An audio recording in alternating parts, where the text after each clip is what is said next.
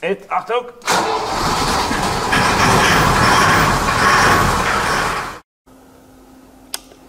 So, hallo. Jetzt ist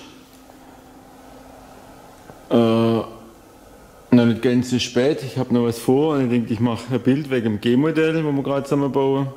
Aber dann kann man das ganz, äh, ganz kurz noch zeigen. Das sind wir jetzt am Zusammenbauen. Jetzt kommen die Türe rein.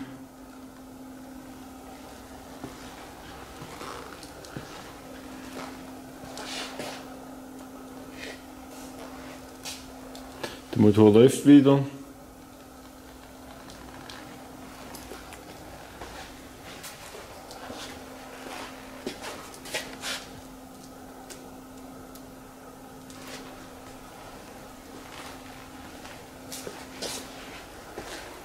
Da hat man jetzt die Einspritzpumpe machen müssen.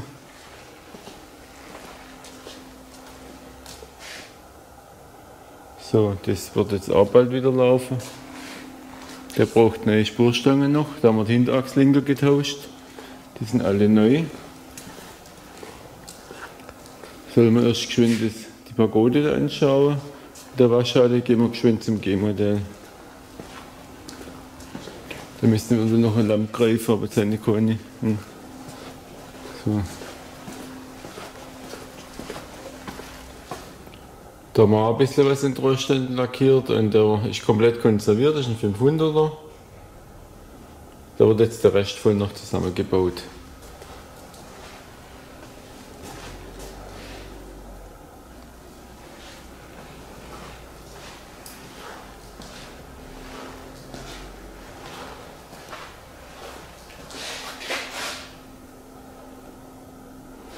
Der Weiße ist jetzt fertig.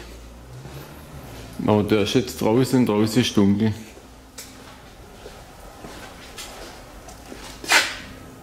Müssen wir nächste, das nächste, nächste Mal filmen.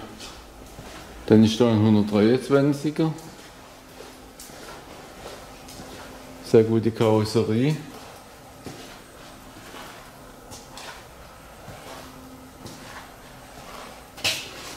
Da hat man unter dem ABS das Standardprogramm früher schon gewesen. Unter dem ABS ist das eine Verstärkungsplatte.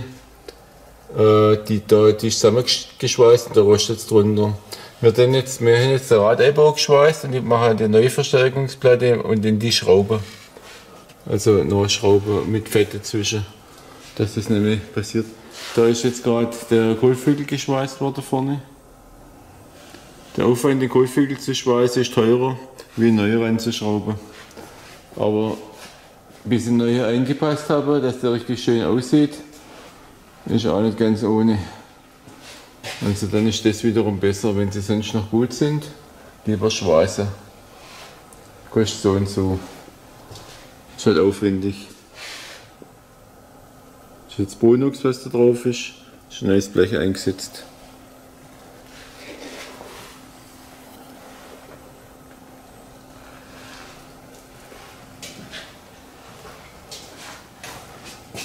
Da war es noch gut auf der Seite. Bloß oben ein bisschen.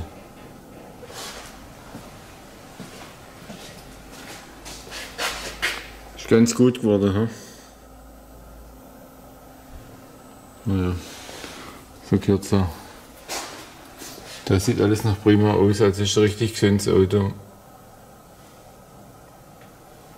Also richtig schön. War ganz original, gucken Sie kein Winterbetrieb.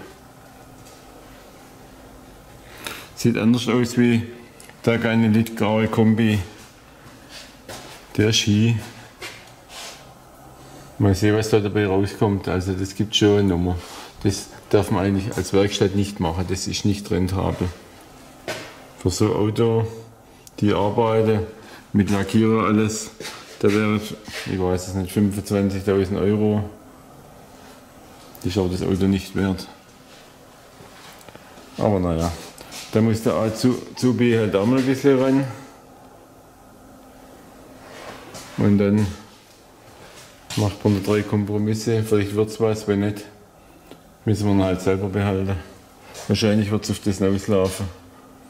Aber dann sehen wir mal weiter. Die brauchen ja eigentlich auch nicht, also der wird eigentlich schon verkauft. Aber das geht noch eine Weile, also halbes Jahr, Jahr, ich weiß nicht. So.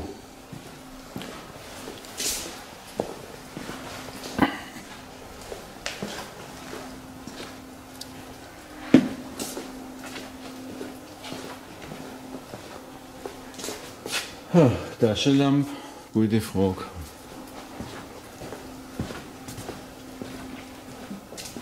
Da ist im Ladegerät, ist immer gut.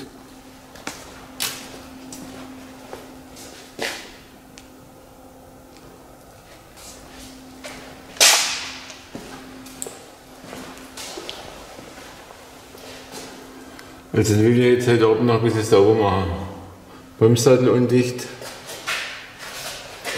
Was hätte ich eigentlich nicht lassen können?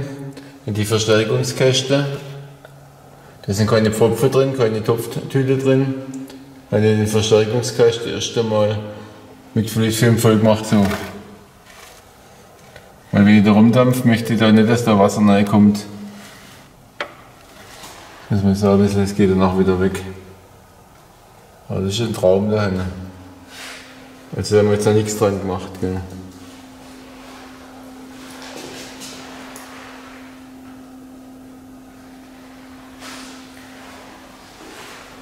Dunkelrotbraun.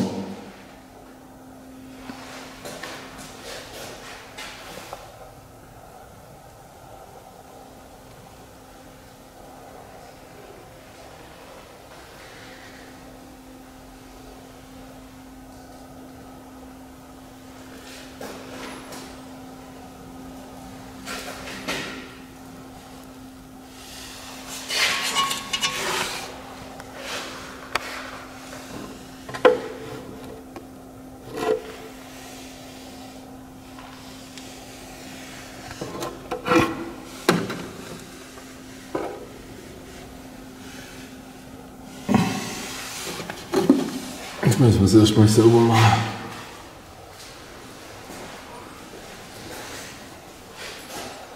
Also da ist durchgerostet.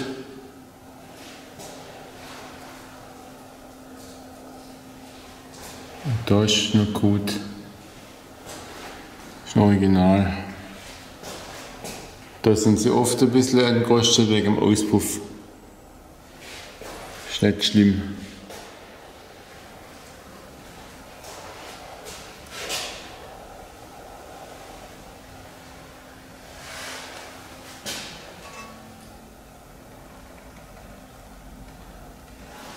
Könnte richtig schön da gehen.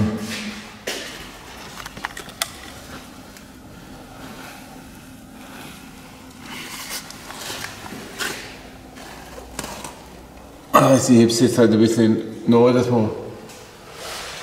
Naja.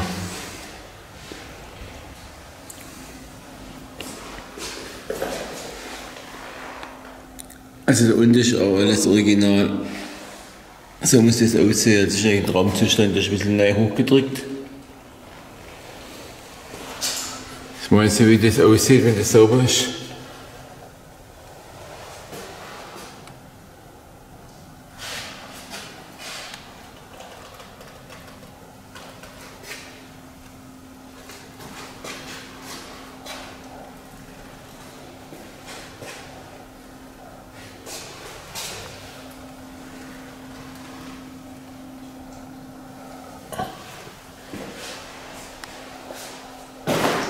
Und man sieht immer, immer die Karosserie, also wenn man es hochnimmt, im Neonlicht sieht man es am besten, wie es ausschaut.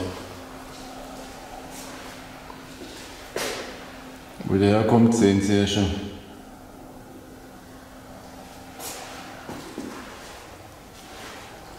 Aber so eine Substanz, da kann man halt richtig was Gutes draus machen. Das ist ja schon eigentlich fast ganz gut. Also da, da geht mir das Herz auf, wenn ich sowas sehe. Also das ist ganz original, das Teil da. So, jetzt, aber das sieht eigentlich nicht gut aus, da läuft Flüssigkeit raus aus dem. Also das Pedal geht da ein bisschen durch, wenn man gleich denkt. Aber Querträger, gucken Sie, komplett original, original Querträger. Das ist super.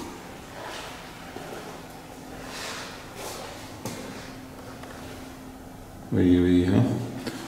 Da sieht es dreckig aus. Gut, also machen wir es wieder aus. Wenn er jetzt auf der Leiter steht, von oben wird er besser aussehen. Also wenn man von oben anschaut, der besser aussehen als von unten, aber er sieht eigentlich von unten besser aus, für mich auf jeden Fall. Der Lack ist schon ein bisschen rissig, also das ist jetzt nicht mehr der beste Lack. Von weitem geht's. Aber da das ist der Knaller da hinten. Da freut man sich immer wieder, wenn man sowas hat. So, jetzt äh, würde ich sagen, genug geschwätzt. Schönen Feierabend.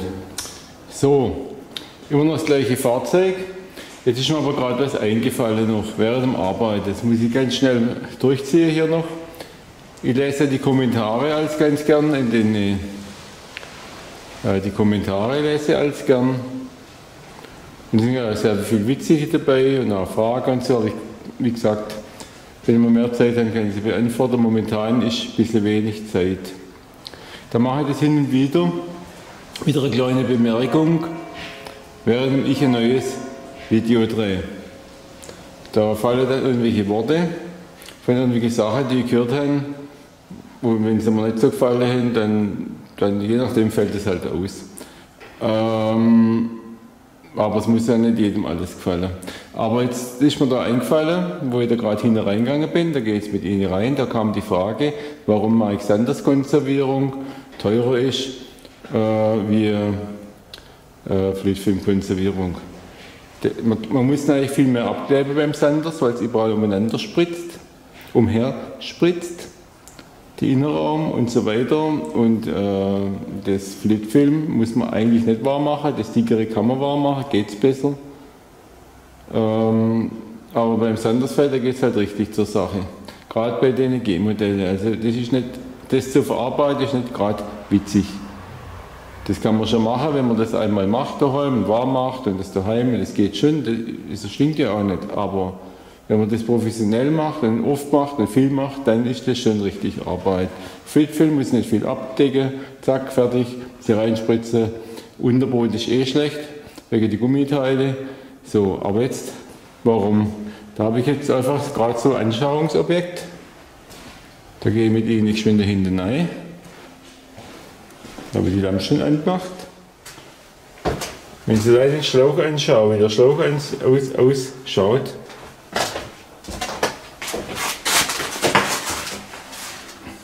Klar kann man das auch anders gestalten mit den Schuhen von dem Sandersfett. Man kann die ja jedes Mal putzen. Das ist, jeder hat sein eigenes Schema.